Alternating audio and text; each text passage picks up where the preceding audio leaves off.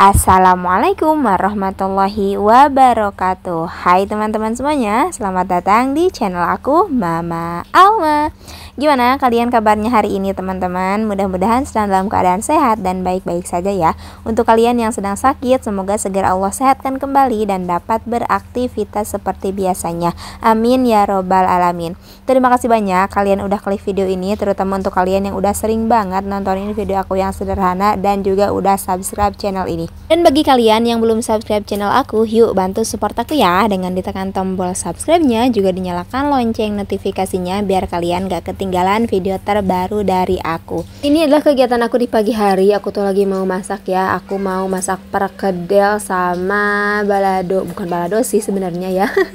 Kayak jengkol terus sama cumi gitu terus aku sambelin. Ini juga ada di meal plan aku ya pas aku nge-food prep kemarin. Ayo siapa yang udah nonton video aku food prep kemarin? Terima kasih ya untuk kalian yang sudah menonton. Terakhir kali aku bikin perkedel kentang waktu itu adalah yang pertamanya aku bikin perkedel teman-teman setelah menikah gitu ya.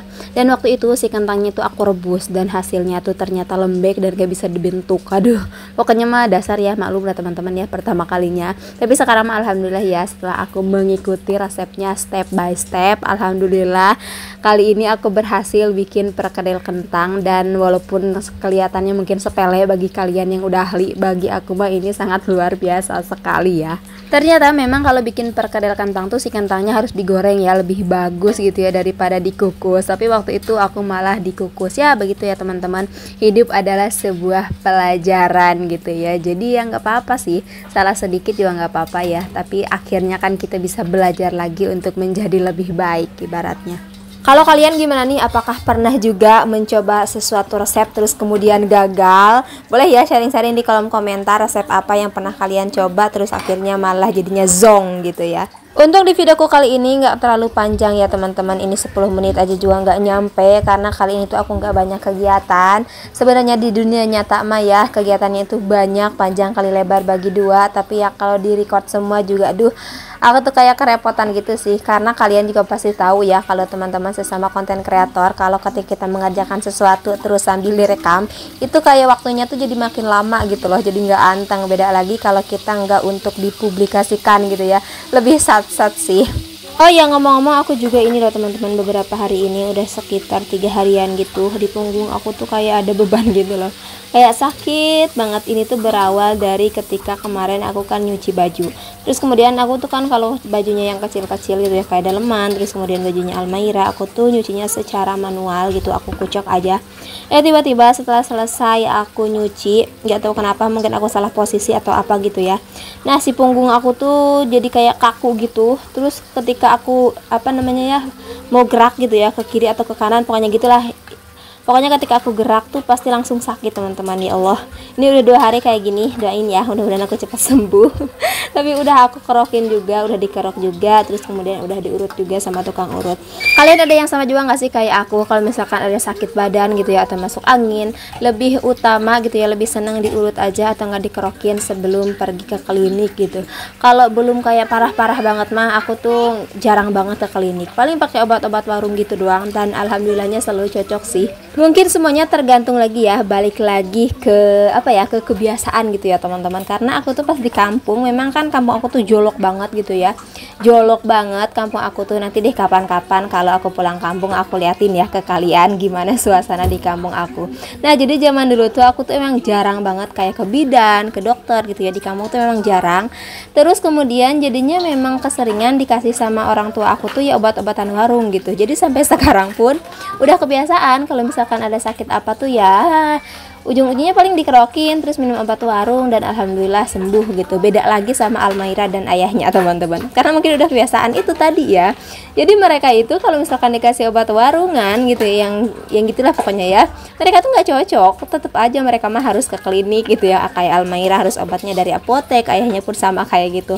Memang ya eh, semuanya itu tergantung ke kebiasaan kita gitu ya. Karena beda orang beda kebiasaan gitu ya. Ada memang orang yang cocok dengan obat warung ada ada juga orang yang memang harus ke klinik dan obat-obatan yang dari apotek seperti itu.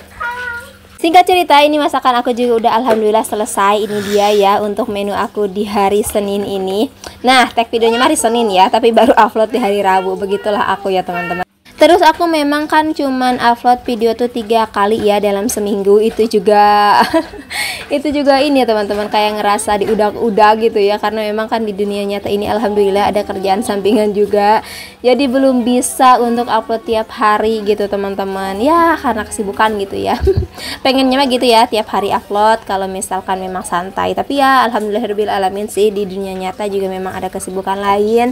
Jadinya ya udah sesempatnya aja gitu. Oke lanjut. Ini ini adalah kegiatan aku di sore hari setelah aku selesai motong-motong dompet untuk bahan gitu ya. Nah aku tuh mau sapu-sapu dulu ini depan halaman kontrakan aku karena weh pokoknya mah tiap hari ini tuh selalu bala gitu ya kalau kata orang Sunda mah bala bala dengan daun-daun gitu teman-teman yang pada apa namanya berjatuhan. Karena di depan kontrakan aku tuh kan banyak pohon-pohon gitu ya pohon-pohon. Tapi senang sih karena hijau gitu ya banyak pepohonan. Tapi ya gini tiap hari tuh selalu aja berantakan gitu ya selalu aja bala di depan kontrakan aku. Dan ini juga banyak bocil-bocil anak-anak tetangga aku dan Almaira juga lagi pada main di halaman. Terus mereka tuh kayak senang banget katanya oh mama Alma lagi mau ngonten. Ya katanya gitu.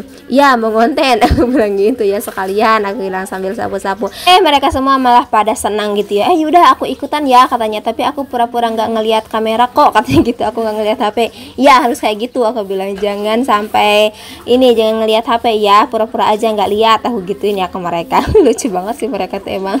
Aku senang sih teman-teman karena tetangga aku tuh memang pada support juga gitu ya. Mereka pada tahu kalau aku tuh suka ngonten. Bahkan kemarin aja kan di depan kontrakan aku tuh ada pohon mangga.